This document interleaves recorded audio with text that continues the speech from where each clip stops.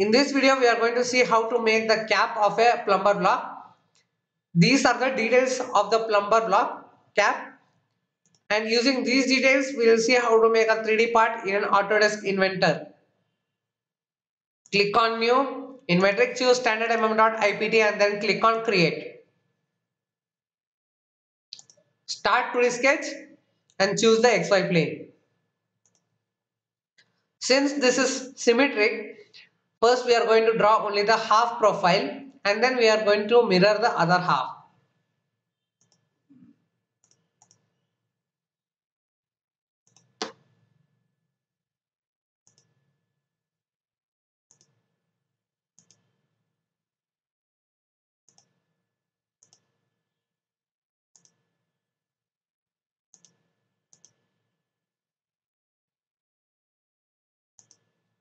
I am adding the dimension.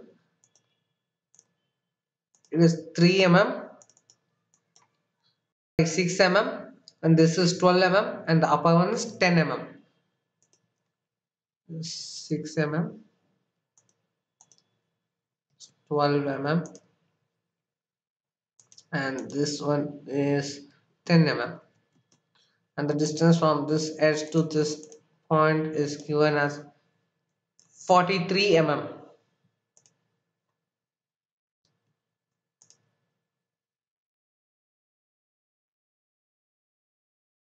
I'm going to draw the arc and the radius of the arc is 19 mm.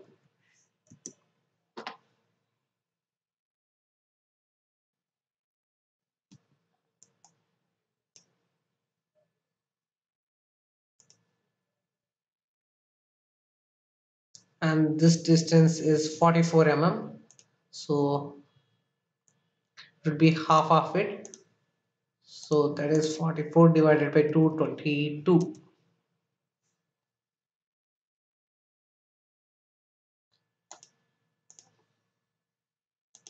there's a one more arc of radius 36 mm 36 now I'll draw the line. I'll extend this line using extend option. And make sure that these two coincide. And now we'll click on finish sketch. Now I'm going to extrude this profile.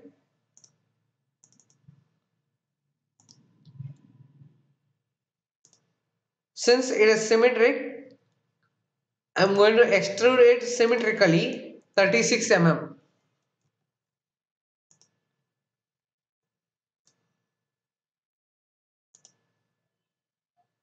Now I'll make these curves and a hole.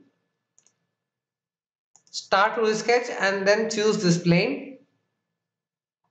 First I'm going to make the outer curve. Radius is 43 center point arc radius 43 mm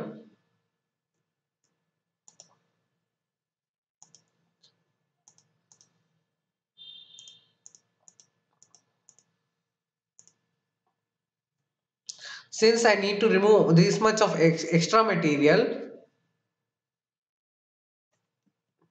I don't need to uh, the profile needs to be a close profile so as to remove this extra material. So I'm drawing a random profile and then click on finish and we'll use the extrude option and the output should be cut and I'm going to make it through all and then click on OK.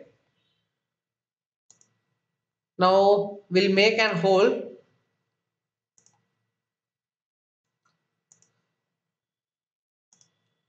First, we'll make the other curved part.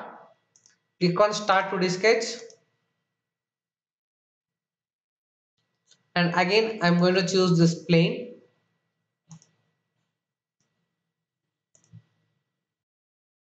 The distance from the center is given as 62 by 2 that is 31 and the radius is 12 mm.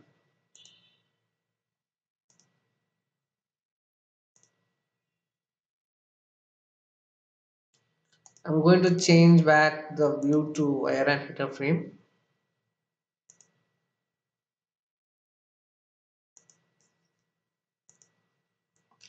I'll add the dimensions.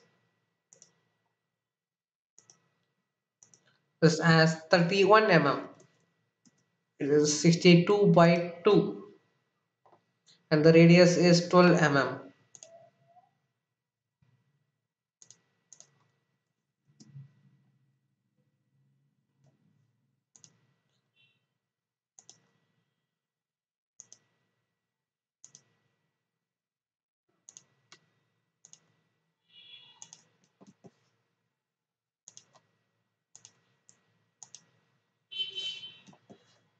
Now the profile needs to be closed. So I'm drawing a random profile again and then click on finish sketch. Now I'll go to view and change back to shaded. Now I'll extrude and cut the material. I'll cut the material in the opposite direction and then click on OK. Now we'll make the hole for the on this surface using the hole option. Click on hole and we are going to make it concentric with this arc. And the and the termination is through all. And the diameter of the hole is 10.5 mm so and then click on ok and now we'll make the other half of the cap using the option mirror. Now in the features select all the features which you have to mirror it. And then click on mirroring plane and choose the plane about which it has to mirror. And then click ok. And now we have to make this hole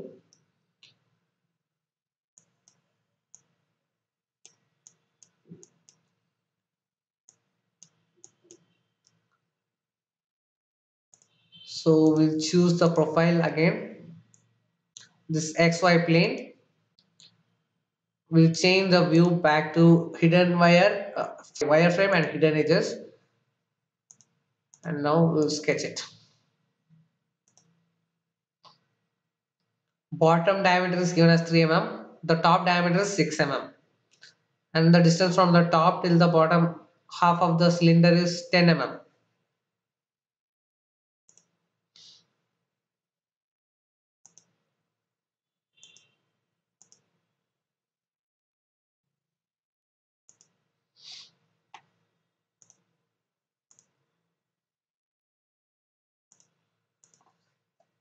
3 mm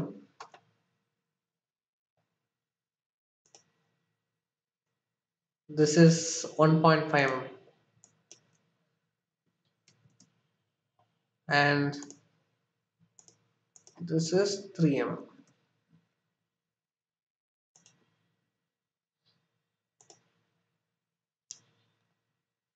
but this distance is given as 10 mm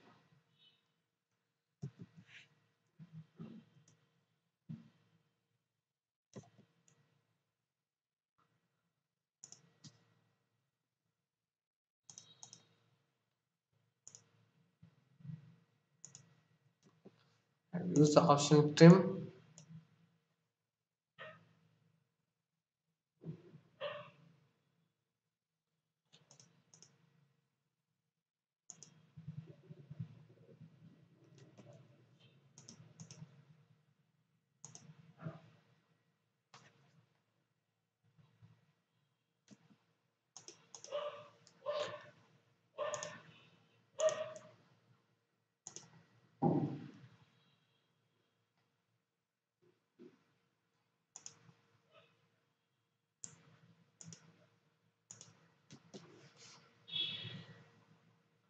since the surfaces are circular I'm going to extend it little bit more so that the hole cuts properly.